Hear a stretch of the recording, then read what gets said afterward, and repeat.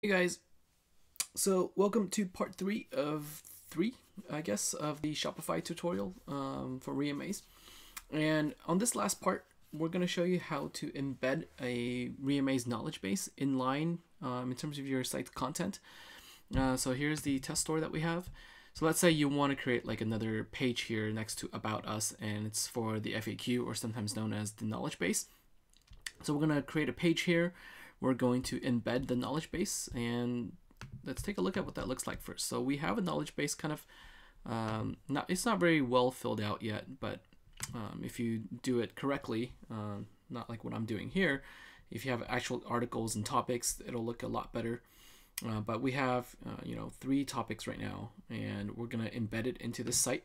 Okay, so let's start with your Shopify account. Let's go to your online store and we're going to go to pages.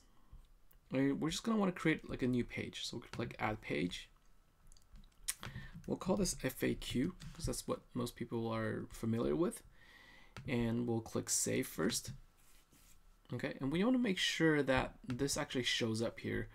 To do that, we'll need to go to, to navigation.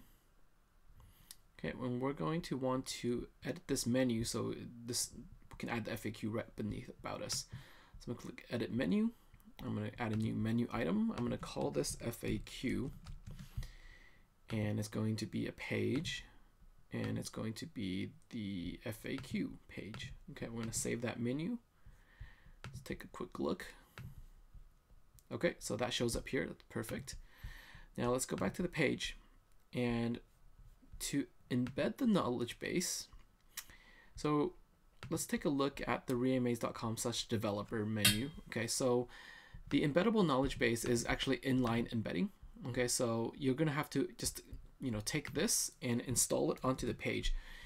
Um, so we're gonna copy that. Okay, and it, this is it's gonna be the same for everybody. So just go ahead and copy this because Reamaze has already been installed on your Shopify store um, in the previous two tutorials. So you don't have to worry about that.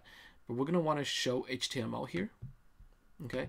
Now you could have other content, um, you know, in the FAQ. You can type a few lines of text, welcome them to the to the knowledge base, or whatever. But it's in line, so it's going to be its sequential order, right? So we're going to go to the HTML, and we're just going to paste this. Uh, we have we don't have any of the con content right now, so that's perfectly fine. We're going to save it. Okay, there is no need to identify the brand because, as I said, everything has already been installed. So that's saved. We're going to give it this a refresh. Okay, so now technically when we click on FAQ, we're going to see the embedded knowledge base. So let's do that. Okay, here we go. So um, the, FA, the, the, embedded knowledge base shows up here. Uh, you can obviously customize this as you know as much as you want you through HTML and CSS. And we have a different tutorial video for that. But if you need any help with it, you can reach us at support at reamaze.com. But you know, basically you go to settings, you go to brands, make sure it's the right brand that you're editing. Okay, so this is the Reamaze 2 brand that we're demoing, and we're going to want to change the. Uh, let's just for for safety sakes, we're gonna go to see all settings. Okay, and we're gonna do the hosted KB site settings, and we're gonna change. You can do the appearances here. You can do text customization, um, and then you can go to custom header and footer. This is where you edit the public site, which is the KB's header, footer, and CSS styles. And that way you can customize this to look a lot better uh, and to fit into your site a lot better. But this tutorial just shows you how to embed the knowledge base and it's super simple. Just go to reamaze.com slash developer, go to embedded knowledge base and just copy this little line and paste it into your Shopify page. Okay, that's it. And if you have any questions, again, let us know at support at reamaze.com. Thanks.